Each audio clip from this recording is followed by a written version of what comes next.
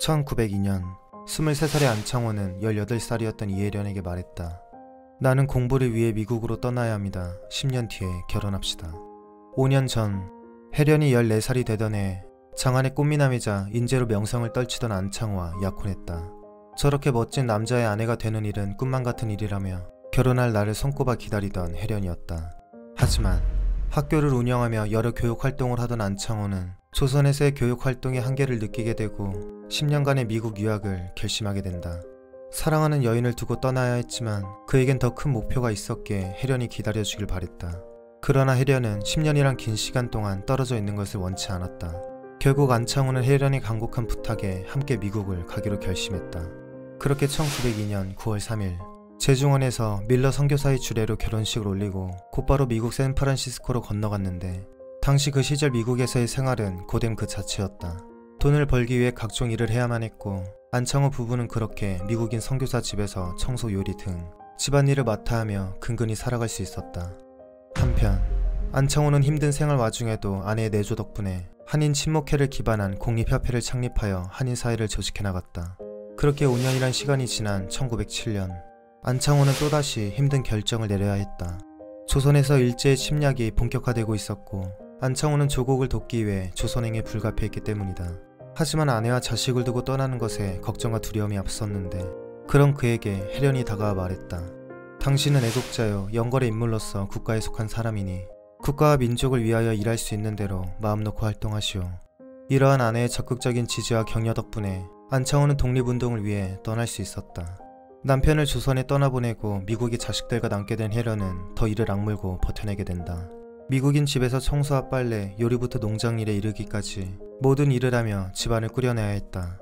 여기서 멈추지 않고 혜련은 남편을 도와 독립운동을 위해 힘쓰게 되는데 3.1 운동 이후 로스앤젤레스에서 부인 친애를 조직하여 독립의 연금 모금에 솔선수범하였고 후엔 여성 단체들을 통합한 대한여자애국단에서 총단장을 역임하며 독립운동을 위한 모금 활동을 전개하였다. 독립운동에서 가장 중요한 것은 재정 마련이었는데 홀로 자식들을 키우는 고된 생활 와중에도 독립 자금을 마련하기 위해 노력한 것이다. 그녀는 재미 한인 사회의 데모 역할을 충실히 수행한 여성 독립운동가였다. 하지만 유감스럽게도 많은 독립운동가들이 그러하듯 안창호의 가정 또한 행복함을 누릴 수 없었다. 일제에 의해 여러 차례 수감 생활을 겪은 안창호는 고문과 감옥살이로 폐렴 강경화 등 온몸이 만신창이가 되어 있었다. 죽을 날이 얼마 안 남았다는 것을 본인도 알고 있었다. 안창호가 죽기 전 미국에 있던 가족들이 국내로 귀국하여 그를 만나려는 계획을 세웠다. 3남 2녀 중 막내 아들은 아버지의 얼굴 한번 보지 못했고 안창호 또한 가족들의 얼굴을 본 지 오래 전이었기에 죽기 전 꼭 한 번만이라도 가족들을 보고 싶어 했다. 하지만 당시 시대는 매우 절망적이었다.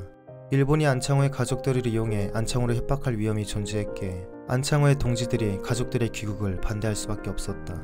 안창호 역시 상황이 위험하니 오지 않는 게 좋겠다는 편지를 쓸 수밖에 없었고 결국 1938년 가족을 만날 수 있다는 희망이 절망으로 바뀌게 되며 안창호는 가족들의 얼굴 한번 보지 못한 채 눈을 감아야 했다.